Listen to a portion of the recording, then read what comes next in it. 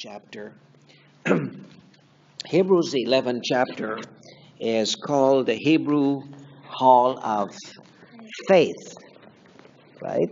We know they have the Hebrew, they, have all kinds of halls of fame, but Hebrews 11 chapter speaks of the Hebrew Hall of Faith. And Jesus said one time, He said, If you have faith as a grain of mustard seed, you shall say to a mountain, Be thou removed and cast into yonder sea, and it shall be done. And you remember that lesson when I put that lesson and I took my pen and I put it I put it on the pulpit like this and I said anybody here that has faith not to move a mountain just move my pen Remember? Yes. Now, if you have faith as a grain of mustard seed, you can move a mountain. I don't want you to move a mountain tonight. I want you to move my pen. Who's going to give it a shot? And I remember that day, a brother sat at the back, and he was going to really make himself. You know why I did not allow him to come up? Because he would have made himself so silly because I knew what he wanted to do. He wanted to come and says, "This faith, I'm going to move it." Faith without works is dead. That's what he was going to say. And when he was going to reach almost here, I was going to stop him and says, "Hold on a minute. Let's read the scripture. If you have faith as a grain of mustard seed, you will say unto the mountain, Be thou removed and cast into yonder sea, and it shall be done. Now you stand there and say to the pen, Move. And if you can't, then go read your Bible before you make another trip up to the front. But you see, that's, you sometimes have to help people because people don't always read. And in that message, I said the one time I've seen, uh, someone said one time, he has never seen anyone move a mountain by faith but he has seen people move mountains with bulldozers and machinery, and they move it. But you know, I've seen people climb mountains, and they're mountain climbers. And it tells you that faith is so small in our lives because as human beings, we don't even have faith as a grain of mustard seed. That's what Jesus really meant. He was not kidding around. So when you think you have a lot of faith, you don't even have faith as a grain of mustard seed, and it's the grace of God that has given us faith. Now, when Jesus told a person, Your faith has made you well, it is so smaller than a mustard seed, but the grace of God has given us faith to have confidence in Him. I'm, I'm sitting here tonight because I have faith. I have faith that the chair is not going to break with me while I'm sitting on it. I have faith that the building is not going to collapse. Without a little bit of faith, we would not even survive. And so in Hebrews, the 11th chapter, it tells us about a different category of faith. And that is so important for us to understand. Because when I say faith, people think, oh gosh, faith to heal the sick and raise the dead and do all kinds of stuff. Well, I tell you what.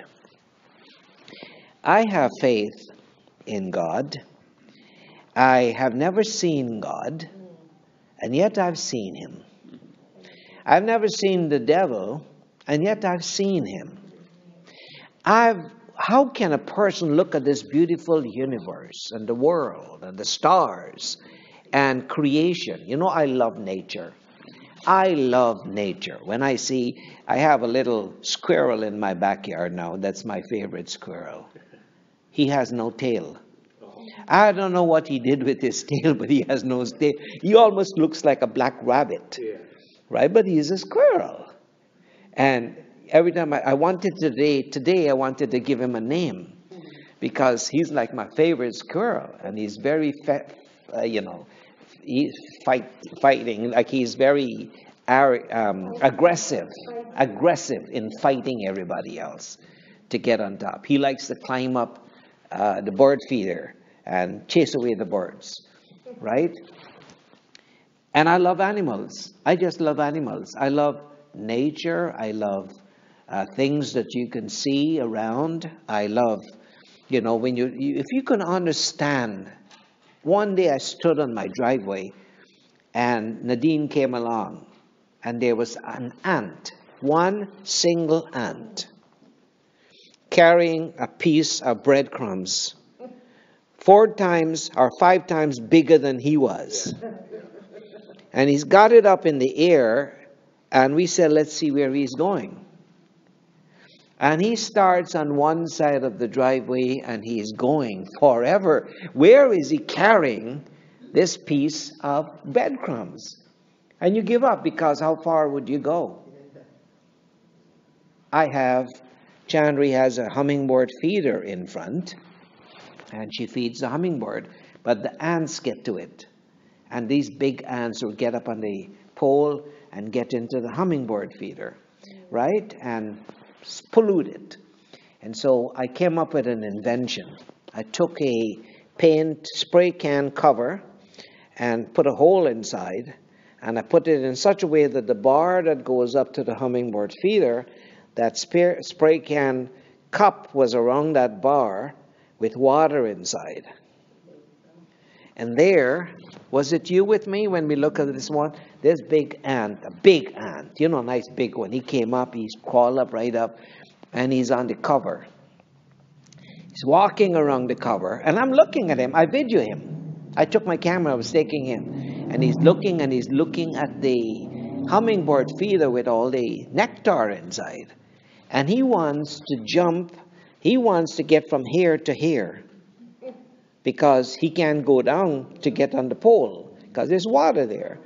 And I'm looking at him, and Deanie and I are looking at him, and you know what? He averaged himself, and he jumped, but he missed.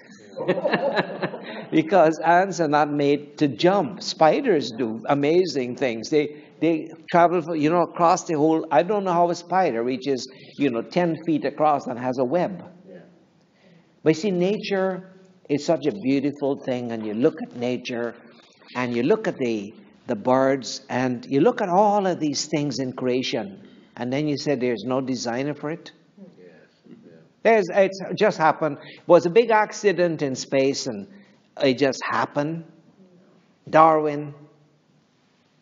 It just was an accident, big bang, and we all came, and all these marvelous things happened.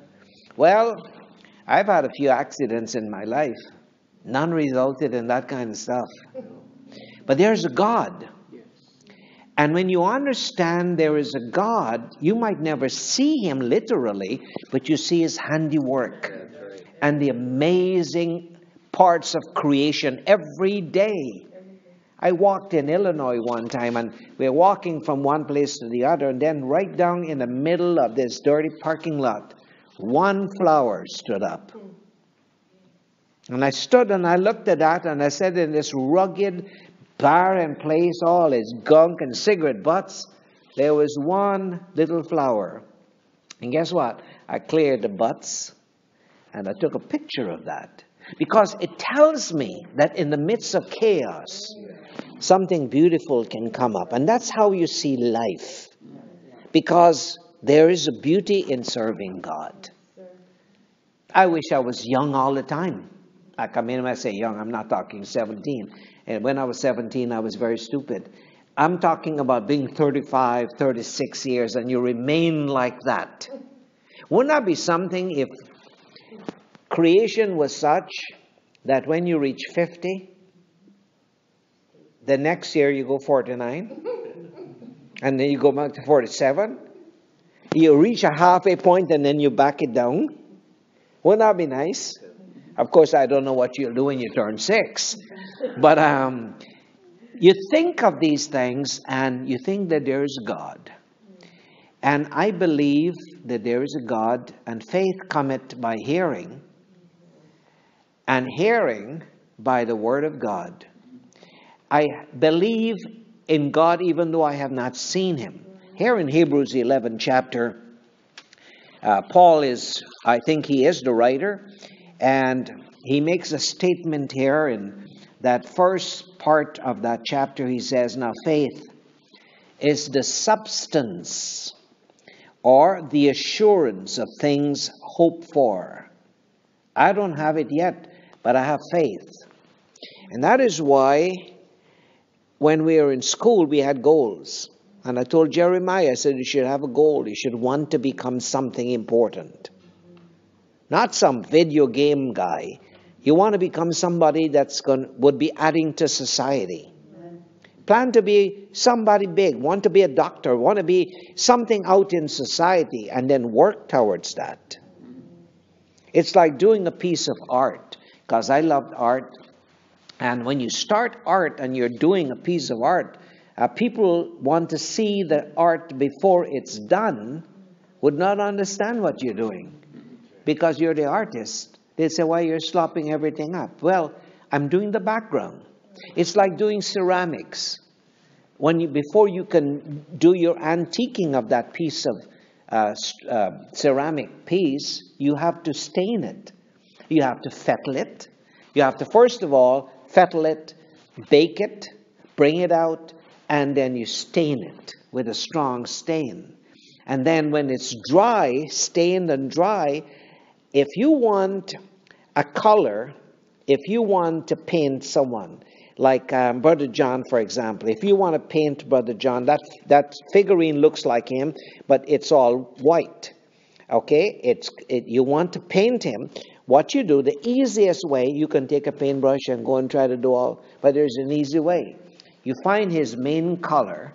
His main color is there, and you want to keep that as a final translucent stain. So it's called translucent. So you take his main color and keep that aside, and then you look at the darker colors, right? You want the creases, the darker color in the creases. And so you paint the whole face in that dark color. Right? So that remains there. No, you paint the face first in the light color, and then you paint it over with a translucent dark color. Then you take a cloth and you rub everything off. And when you rub it off, the dark color remains and the light color comes out. Otherwise, you will be taking a paintbrush and doing all those fine things. I learned to do that, and it's a part of art. It's a part of developing thing. But I know what the finished product would be. And so I'm working to the finished product. See, that's how God works. Uh, and, and when you, whatever it is, the, the most beautiful thing you can find is an apple tree in the spring. Apple pink, apple pink, and cherry blossom. What is it? Cherry, cherry pink and apple blossom white. So you look at cherry, the, ch- the cherry tree is pink, and the apple blossom is white, and it's beautiful. But the blossoms don't last because they're there for a reason. They're there, and nature is such that you need bees to pollinate.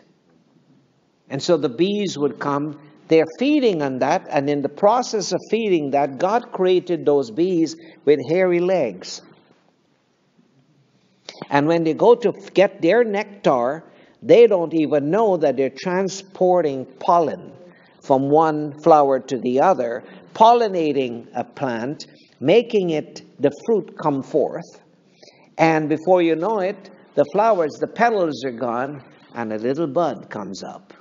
But guess what? Don't eat it. It's apple, but not ready to be eaten. There's a process. There's a process. Wait. I looked at a little sign I had today that says, under construction, God's not finished with me yet.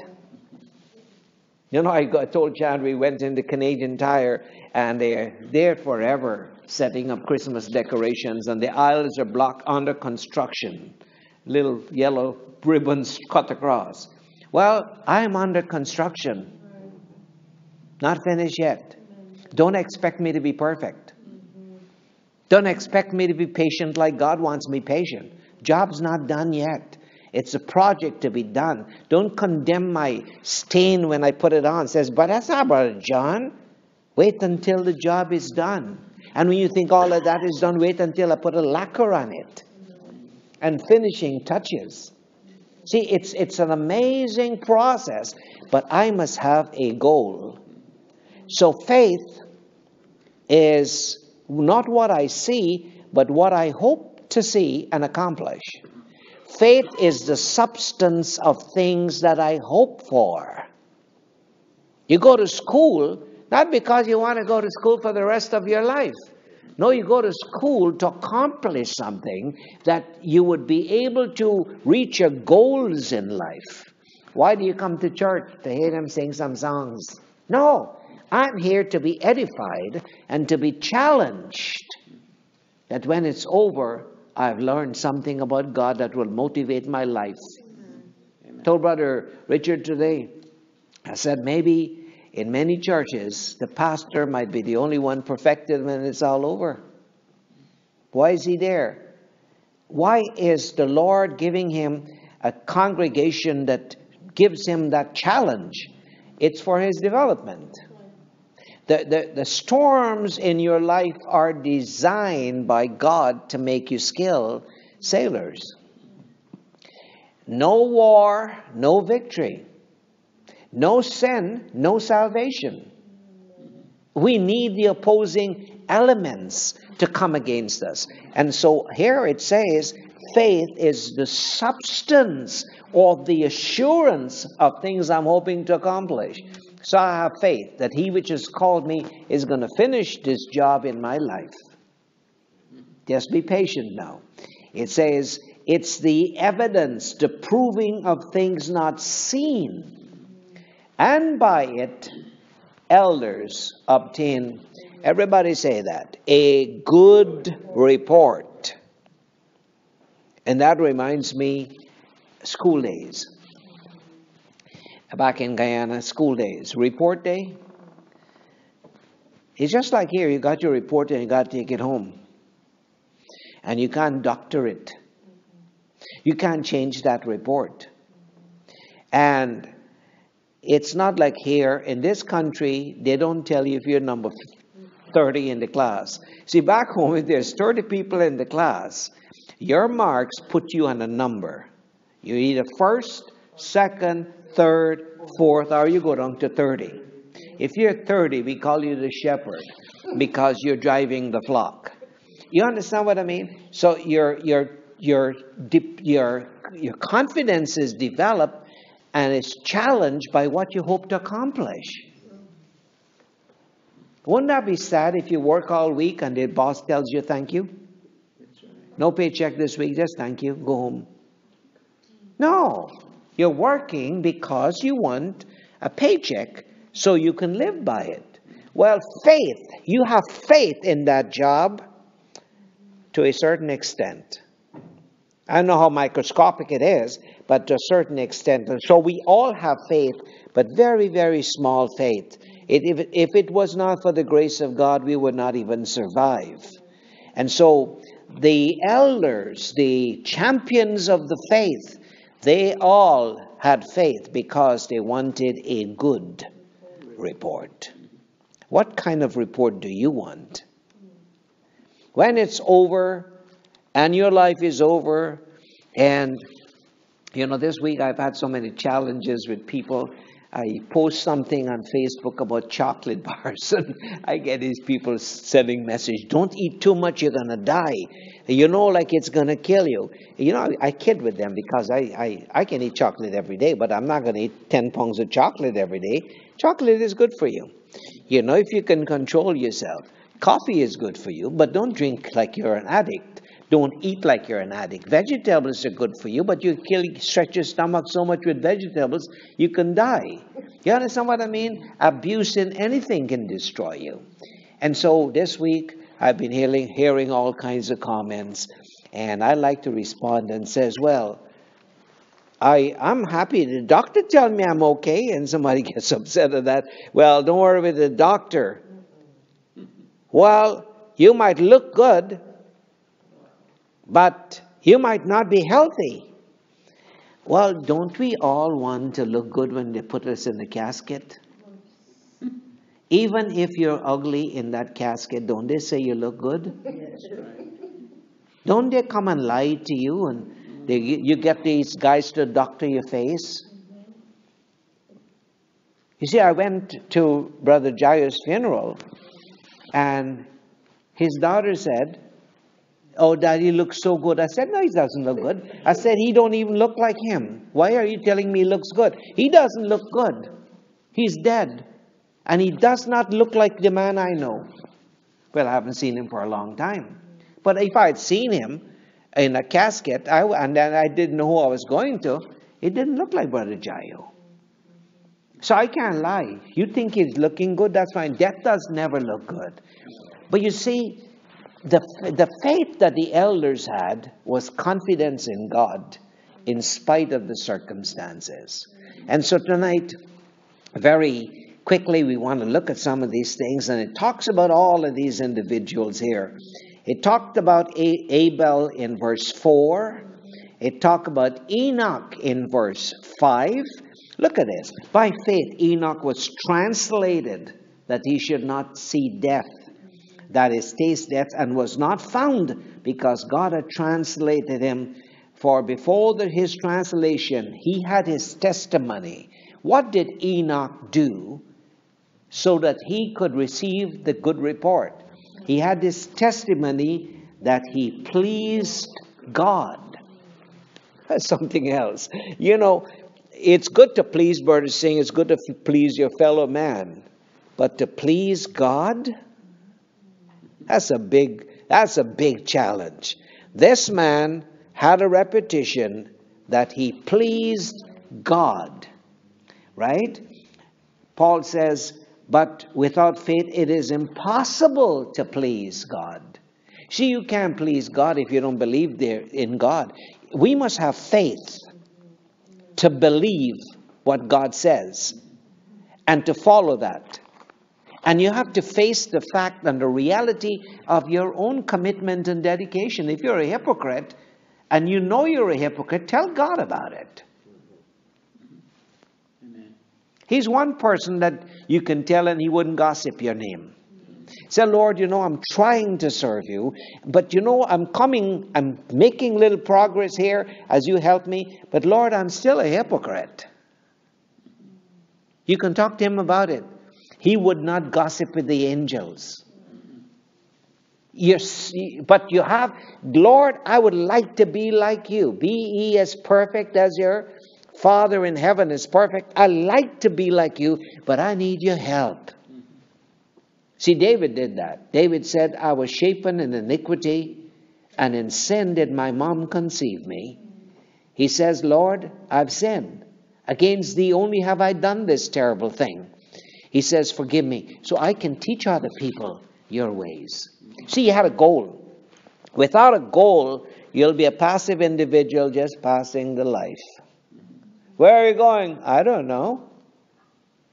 What's your ambition? I don't know. What grade you're in? I'm in grade 12. What you plan to become? I don't know. See, without that, you don't have that drive and that motivation. Now, I have a problem with individuals that feel like they're going to be in the first resurrection because I don't think anyone can easily qualify to be in the first phase of the first resurrection. So, what do you do when we sing the song, Oh Lord, I want to be in the first resurrection? Don't sing it. No, sing it. You can't give up. You're only done when you're done. So, fight the good fight of faith and keep shooting for the highest point. All right? Shoot for the highest goal. Seek that you may excel. And if you fall short, then settle for that. But shoot for the best. If you're going to be a singer, be the best. If you're going to be a musician, be the best. If you're going to be a preacher, be the best. If you're going to be a student, be the best. If you're going to be an artist, be the best. Why shoot for the second? Shoot for the first. Come on. Shoot high. Have faith. Have faith in God and faith in what God can accomplish in your life. I don't believe Christians ought to be the, the, the, the, the dumbest people in the society. I believe Christians ought to be the smartest people because they're children of God. It was such a pleasure when we went to high school, and I'm glad that I can talk because Terry is here. We went to high school together. Uh, here he is at the back. I'm so glad that when we went to high school, you got these Hindus and you got the Muslims and you got everybody around you. But it is so glad when you stand up as a Christian and you come first or second or third in class. They call you Christian, they mock you, but then you turn around and show your report and you shine because you're a Christian.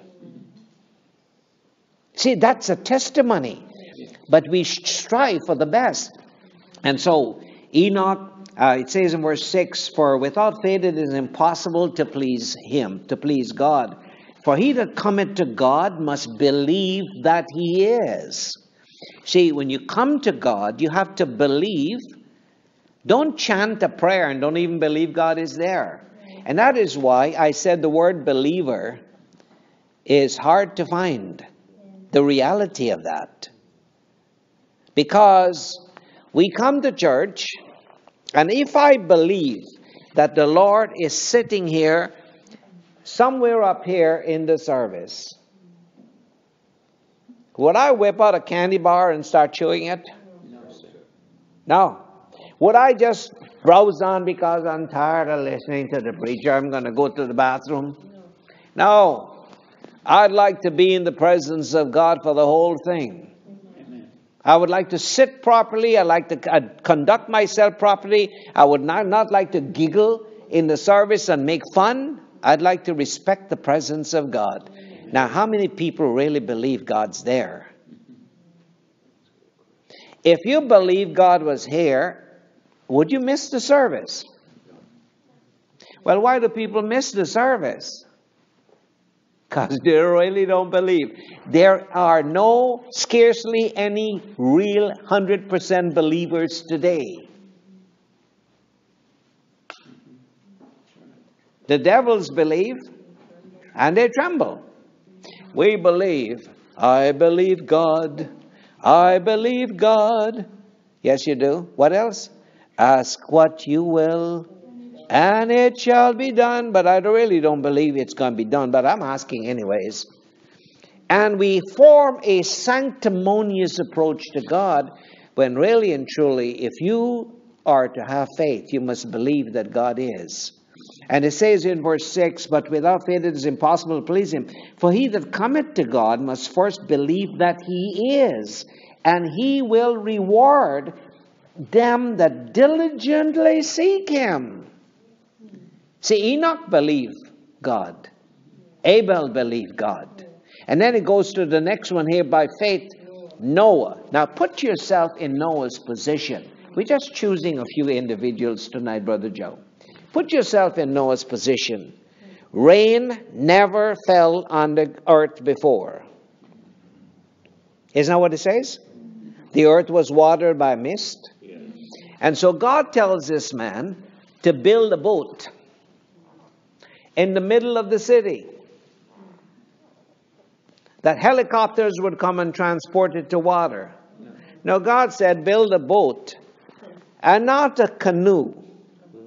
Build a 450 foot long boat, 50 feet wide.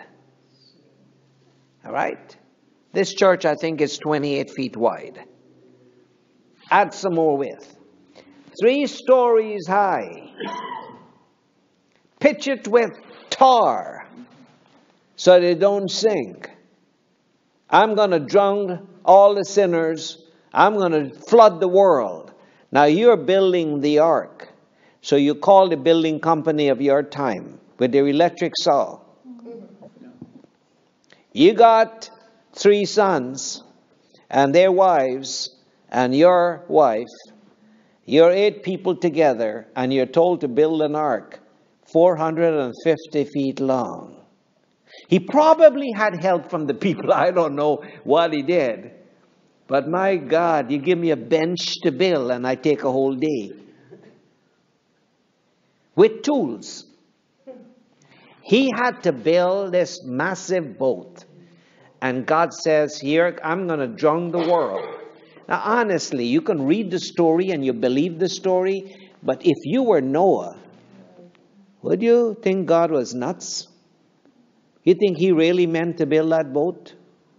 Or you felt like something really led you astray?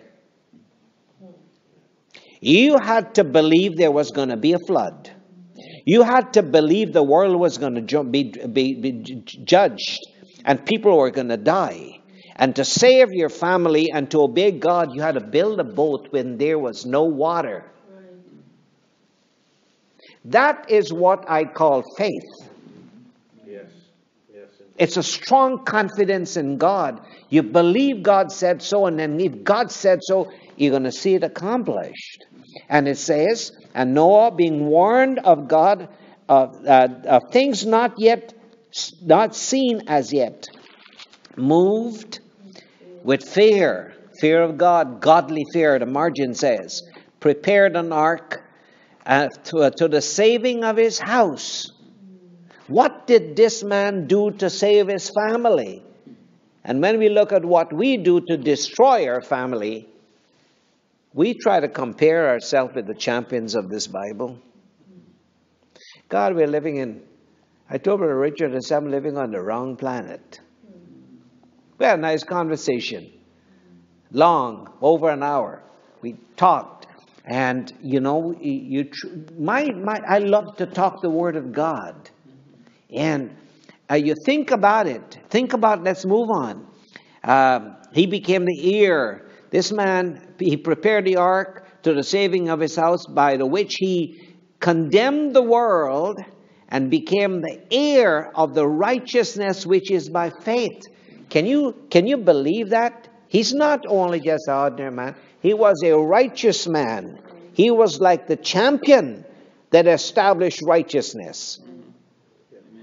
He became the, everybody say that, heir of righteousness amazing description of Noah.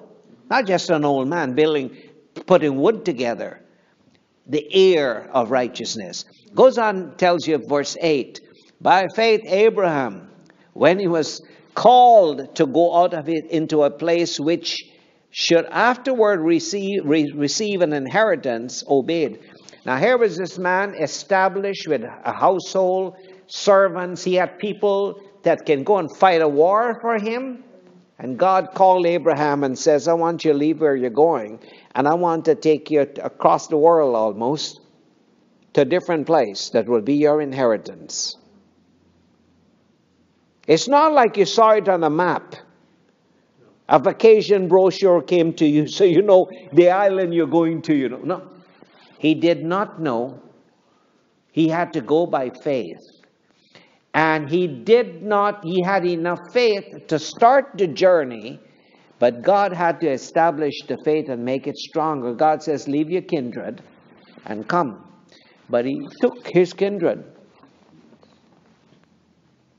See, God don't just hold you and force you. God let you fall on his rock and be broken. And Abraham did not start as the father of faith. He had to learn faith. So, didn't God promise him a land, a proper land with, with prosperity? When he got into Canaan, it was a famine. It is so strange how God operates. It's not strange because we hindsight is 2020 vision. But when we think about it, how God operates, think about it. He chose a virgin to bear his son. He chose a barren woman to bear John the Baptist to be the forerunner of Jesus. When you think about this, Samson did not have a mother that was a regular pregnant woman. She was barren. You mean God just like to choose? But no, no, no. God takes the impossible and make it possible. What was Sarah? Say it. Not only barren, old. And God chooses the impossible to make it possible. He chooses the tough ways because it will strengthen you. But you see, the world out here is telling us otherwise. We like the easy way out. There's no easy way out. You want to be a champion, you got to go through the course. But Paul says, I have fought a good fight. You don't escape the fight, you have to fight it. I have finished my course. See, you and I, we all have a course we're working on. And we're not finished. You don't drop out of the course halfway and expect to graduate. No, you got to finish the course, my friend. And the sad thing is that a lot of people feel they can escape the course. Jonah thought he could escape the plan. And so he said, okay, God says, go to Tarsh, go to Nineveh and tell them that I'll destroy them in 40 days. They need to repent. Jonah says, I don't think I'm doing that. I'm going to go to Tarshish. So here's Nineveh, here's Tarshish. Right? Jonah is here, go to Nineveh. No, I'm going to go to Tarshish. Where you think the whale was waiting for him? On the way to Nineveh? No, on the way to Tarshish. God knew what he was going to do. God had the whale to strengthen Jonah because he was the man that needed help. The man of Nineveh will come up in the resurrection, but Jonah was the prophet that had to go tell them. He had to be worked on. God has a whale for every one of his children that want to escape the path. If you're elect, no running. If you're the elect child of God, no escape. Run. There are guard wheels that bring you back. You cannot escape the calling of God. Okay? Um, so I'm looking at this. You see, if you hold your finger in Hebrews 11 chapter and turn, turn back to my favorite scripture in Romans, I love all scripture is favorite to mine. But this one here is another favorite one in Romans the eighth chapter. Um, it's such, such there's so many beautiful scriptures. It says in verse 29, chapter 8 and verse 29, it says, For whom God called, for whom he called, uh, for, from who, for whom he did foreknow. Now, the foreknowledge of God, this is something I don't have, something that you don't have. It's called foreknowledge. See, God occupies eternity, right? Eternity, you must have a revelation to really understand eternity eternity does not have present, past, and future. When God made mankind, He made the sun and He made time. He created time. And so we have time, day one starts it. So anyone that falls in the in the course of time will age. He that created time does not age. He is outside of time. He knows the start of time, He knows the middle of time, and He knows the end of time. So while you are here born and you're doing your 20 something years old, He already sees your end because He has created it. He knows the start to the end. While you're struggling because you don't know why you lost your job, you know you lost your job, you're so sad. He's not worried because he knows that you lost your job. He had a reason for that because he has a plan that when the, you complete the race, you're a winner. You don't know because you don't have foreknowledge, but he has foreknowledge. He sees exactly what you're going to be. Before you were born, he knew what your name was going to be. Now, you don't know, but he knows. He already sees how many people will be in the bride of Christ ruling in the kingdom. When you are nervous that the world is going ungodly and you want to live on a different planet, He's not. He wants you to live in the kingdom that He will build on this earth that doesn't look like it's going to ever change. But He already sees the end. He has decreed the end. You and I that occupy time uh, we are aging and we live in time, we got a problem believing God. So here we come back again because we are seeing, when we see we, our faith is dampened. I can't believe God is going to heal me because the doctors say arthritis can get better. See, I'm just telling Johnny, I pick up the guitar tonight, and the reason why I don't play a lot, you see my this little thing here? It's swollen there. You know, when I try to play the guitar, And I settle for that, you know, I accept that. I should not. Should take my guitar up every day. The more it hurts, the more I play. Well, you see, God is not worried. I'm the one worried because I'm the subject of time. I should have confidence in the one that created time and designed it. And so here in Romans, in verse 28, it says, verse 29, for whom God did foreknow. He knows you. He knows who he's going to want to serve him. He know exactly who was going to sit in this service here tonight. That's right. He knew exactly tonight how many people would miss church. He know he, he is not suffering for knowledge. He is, he is omnipotent. He's omniscient. He's omnipresent. He's everything that does with the omni, some, whatever. And it makes him, and we're using a human word which is very frail to describe what he is. But it helps us to understand who he is. And so he knows you, whom he foreknow, he also did predestinated. How what he did? He predestinated. Now, now listen. To predestinate sounds like a big word, right? Well, it's a destiny that you have. Destination. Your destination, where you're going. He predestinated that you show up in Toronto. He did not even decide you wanted to go to Toronto, but so happened that you end up in Toronto. You have a destiny already planned ahead of you. So predestinate means a plan already set up before you were even born. For he whom he pre he foreknew, them he predestinated to do what? Read it, everybody. He predestinated you to be conformed to the image not of a movie star, not of a rock star, not of grandpa, not of some uncle, not of some uh, rich dude in society. He predestinated you to be conformed to the image of his son, that Jesus might be the firstborn among many other brethren. See, God has predestinated your path. You go to the highest heaven, He's there. And that is the confidence that we have to develop in God to have confidence that He knows exactly what's right. Amen.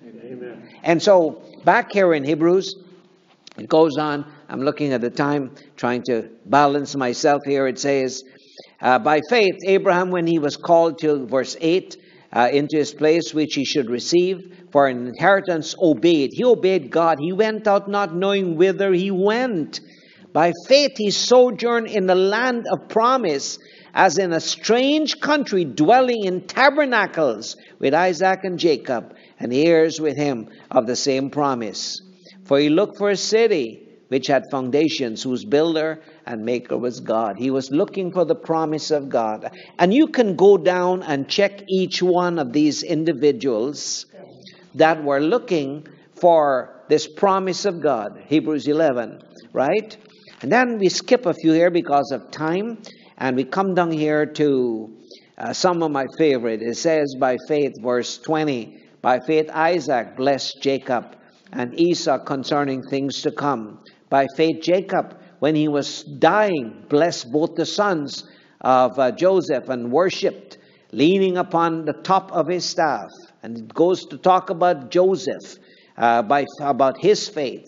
But you know, my favorite one is Moses, verse 24. It says about Moses, because, you know, we read, see the Ten Commandments, and there's so much to be said about Moses. It says, let's read it again one more time for the second millionth time. It says, verse 24, by faith Moses, when he was come to years. Now, you know, you see the movie, The Ten Commandments, right? All kinds of makeup stuff Hollywood has produced. Here's what the Bible says when Moses was come to years, he refused. He made a choice. See, why did he do this? Well, verse 26 tells you the latter part of verse 26. If you go down half in verse 26, for he had rec- respect unto the recompense of the reward. He had a goal in mind. He was working for a reward. You know, when you look at old Western movies, a bounty hunter goes out to capture a criminal, take him in for the reward. That's right. He risked his life, but $500, man, for this guy, dead or alive. So he goes halfway around the world to find this guy and kills him, brings him back for the reward. That's why he risked his life. Slept in the desert, almost bitten by snakes. And that is for 500 human dollars that will vanish. But Moses had a greater vision.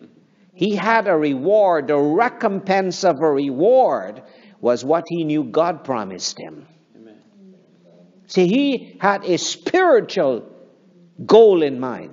Yes, he did. What do you think I'm sitting here in church for 38 years? Because I like to see Brother Tony. I like Brother Tony. No, because I like Sister Dor. I like Sister Dorcas. You know, there was one time I was leaving town, but I couldn't leave because there's some people I like in the church. How can I do that? Remember that time I was leaving, Brother John? I was going to leave because I said, this place got nothing for me. I was going to leave. And then I see Brother Vaters that left Newfoundland to come to be with us. I said, how can I leave this man when he left Newfoundland to come to be with me? Couldn't leave. Now he left. He's now passed away, but he left. The other day I got a, to- a hold of, of um, his daughter, Jessie. And she said some good things. Got a hold of Jessie on Facebook. You see, and, and she said some good things. See, she talked some good things about what she remembered about me and church. And you know, she was just a kid, but she remembered that. You understand? So I could not leave. I could not just give up because of the recompense of reward.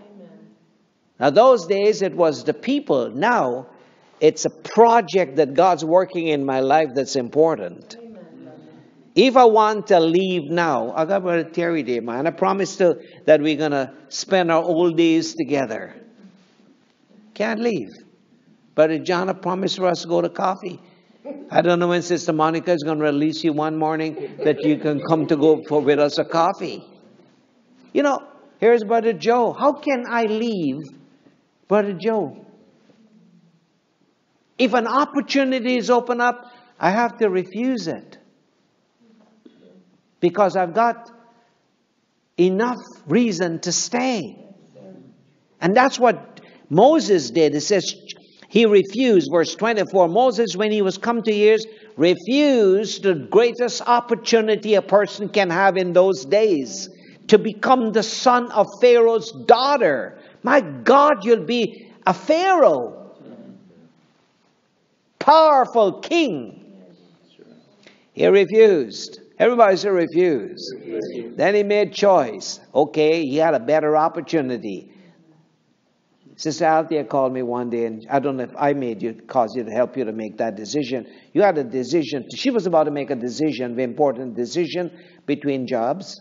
Remember? You called me, and she told me what a decision was, and I said, that's a good decision. They had a better opportunity, but at the expense of church. More money, expense of church. She had a job, less money, but give her church. Guess what? She made a right decision. Never sacrifice your spiritual life for carnal things. All right? And that's the vision and the burden. And so Moses, what did he choose now? He chose a better job. Let's find out choosing rather to suffer affliction. Talk about a man that society think is stupid. Here was one. Was he stupid? To man he was, but to God he had a plan. You see, he saw the recompense of the reward. People did not know. Come on, man. When I was growing up, my friends would say, let's go play. No, I can't play. I gotta go study. Come on. Go play. No, I can't play. I gotta study. Terry taught me how to study. I got to kill myself and study to pass the exam.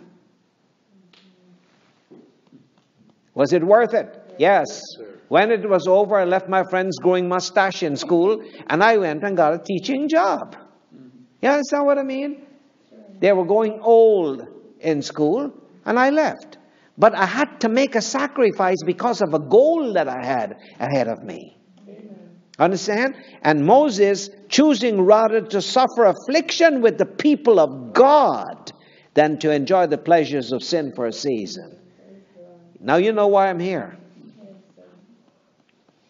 I'm here because the end result is what I hope for. I have not gone back an inch in my spiritual development by staying here. Oh, I might have better opportunities, financial opportunities, and all of that. Otherwise, bigger people in a class to study, you know. No. I'm here because the benefits I have sitting here and dealing with the opposition and dealing with the trials and dealing with the negatives and dealing with lack of support, uh, social support I'm talking about, is has caused me to grow. The storms had made me more skilled. The Philistines left in the land has taught me how to war. Amen. Amen. That is why James, I love when he says, my, my, he says, um, brethren, um, count it all joy when you fall into diverse trials. Well, is Moses any different? Is Paul any different when he says, I gladly bear mine infirmities? He says, The things that were gained to me I suffered loss, that for the excellency of Christ, the knowledge of Christ, he says, I count loss and do count them but dung that I might win Christ. He says, I glory in mine infirmities. He says, You think any man is better off than me? He says, I was shipwrecked more than anybody here. what you're praising God? Yes, I'm praising God that He has taken me through a path for spiritual development that a few people have gone through. Don't listen to television preachers. See, Brother Sam told me, and I've got 10 minutes to go. Brother Sam, when he was, um, he's going to probably listen to this tape, but when he got back to uh, Vasai, Brother Sam from Vasai, he called and told me there was a young man he met on the plane. His name was Ben. And he spoke to Ben, and Ben says he's 22 years old and he's going to England to become a Catholic priest. And he told Ben, he says, before you do that, talk to Brother Singh. So I got a call. And this gentleman says, ah, My name is Ben, and I was told to talk to you, that I'm about to go into training. I said, Well, I think Sam directed you to talk to the wrong man. But if you still want to talk to me, call me back in an hour because I was busy. So in an hour, he called me back. And I sat down there and I gave him good 20 minutes. I say, you know, Ben, let's start with this. If, I said, preachers today are a dime a dozen. Everybody is a preacher. I said, but the most dangerous man is not a terrorist with bombs strapped on him. I said, the most dangerous man you can find that will destroy more souls is a preacher that was not called of God that has a Bible in his hand. More dangerous than a terrorist, terrorists that take down 30, 40 people. And that's where the conversation went. And I went down the line with this guy. I told him if he was grandmother call him or his mama call him or whoever sent him out in the ministry, if he's not called, don't go into the ministry. I said every the greatest liar you can have in the city is a preacher that's not called of God that occupies the pulpit. The devil is transformed as an angel of light. You know, when 20 minutes was done, Ben says, I'm so glad it had to be God that caused Sam to meet me on that plane that I could talk to you. So he got my first tape. You understand? You don't know what God can do. And, and, and so Here, eh, here Moses is saying, choosing rather, scripture is saying, choosing rather suffer affliction with children of God than to enjoy the pleasures of sin for a season. And this beautiful part, verse 26, esteeming the reproach of Christ greater riches. It wasn't money, it was the persecution that came, the rejection that came that whatever Christ suffered, that Moses was prepared to suffer, that was better than money. That all the treasures of Egypt could not compensate for the sufferings of Christ that Moses was esteeming. Greater riches. When you can have a revelation that you can understand that there are riches that's beyond the bank, that God can give you.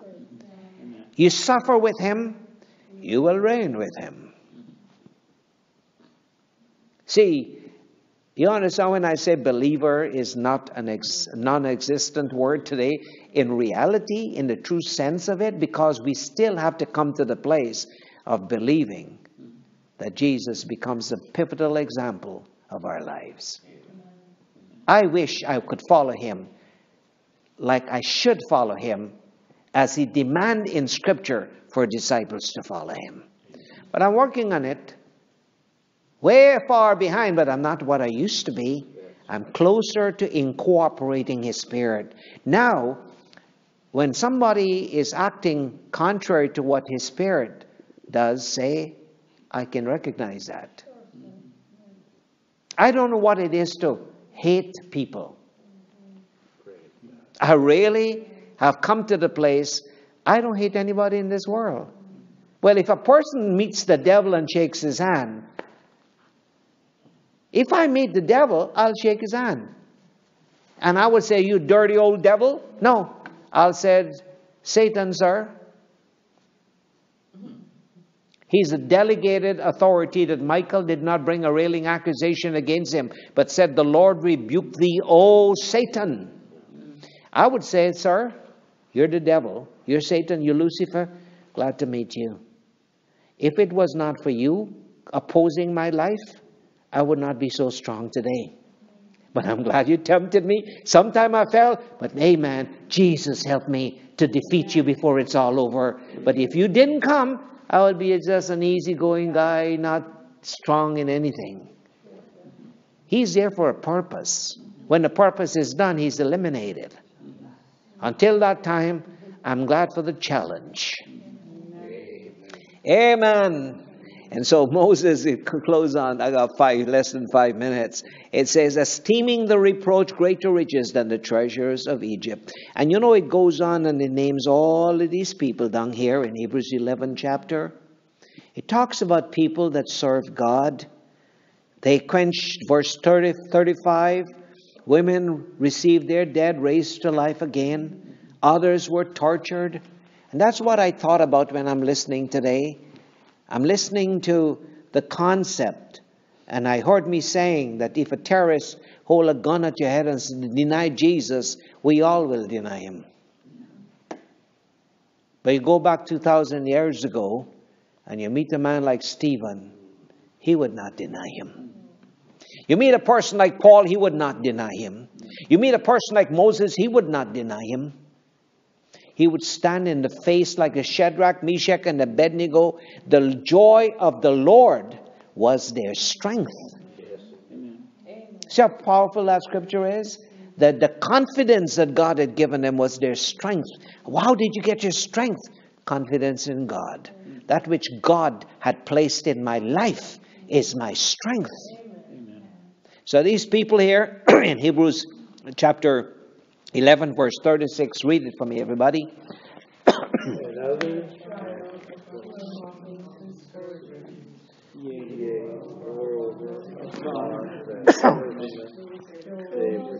what they were? You mean they were stoned because they were serving the Lord, right? Yes, they were. See, it's not happy, happy like everybody wants to do it in this world. discipleship is a lost con, uh, con, uh, it's a lost uh, art. It's a lost experience. It's something that is not pursued properly. And it says they were stone, they were sawn asunder. That's with a saw. They were tempted. They were slain with a sword. They wandered about in tuxedos, no sheepskin, goatskins, being destitute, afflicted, tormented, of whom this world was not worthy. they wandered in deserts and in mountains, in dens, and in caves of the earth, everybody together. You know, sometimes you go on Facebook and somebody say, claim your victory. Say amen, and your wealth would be increased. You know, such ignorance, I don't know how you can cope with it. The day I stand in this pulpit and tell you, bring your, write your, all your bills on a, on a list, and I'm going to pray that God release it, is the day you stop coming to church. God is not an idiot. God develops responsibility. The day I might ask you, bring your bills and let me see how irresponsible you are in spending your money. And then we'll give you a course on how to control yourself when you go to the store. I've actually asked someone in this church one time, I said, bring all your credit cards to me. Down, believe it or not. They brought them, and I said, give them the scissors, I cut them up. And the person cut them up. Did he have back a credit card again? No. I say, you don't have any control over the credit card. You'll be putting yourself in big trouble. I want you to take it and cut it up. Now, that is what a church should do teach people how to become responsible. Don't buy what you can't afford. Learn to suffer. Learn to do without. Don't let the spirit of North America take a hold of you. But look at this. And these all, the ones that died in the caves, the one who wandered in sheepskin, all having obtained a good, good, good. That report card says good report. Through faith, received not the promise. They did not get it in their life, but it will happen in the kingdom at the resurrection. But they died faithfully. If those boys in the fiery furnace were not delivered by the Lord, they would have died faithfully. Did Stephen get delivered? No. They stoned him, and he said, Lord, lay not this sin to their charge. What an attitude. But you put yourself in that arena, in the little prison under the arena, and see Nero send your children out for the lions to eat them would you still have faith in God? See, our faith in North America is not tried enough. And yet we expect to sit on the same throne that some of these men that died for the sake of the gospel were sitting on. I make a joke. Sounds like a joke. We die of excessive eating we die of high cholesterol. We die of everything that those would never die from. They die for preaching the gospel.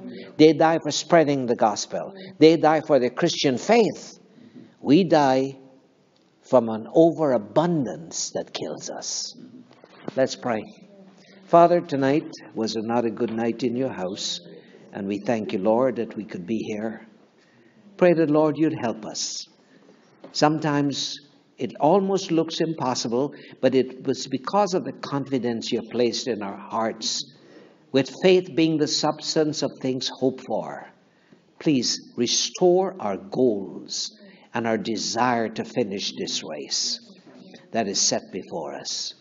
Oh Lord, help us to drop the sin and the weights from our lives that will hinder our progress. Give us a revelation, Father. Have mercy on your people and take us right through the end. Again, remember those that are not well, that you'll touch their bodies. Continue to heal your people, Father, we ask in Jesus' name. Amen. Amen. Amen. God bless you. Good to see you all in church tonight. It's not the nicest, most pleasant night out there, but it's not too bad. Chapter. Hebrews 11 chapter is called the Hebrew Hall of Faith. Right? We know that.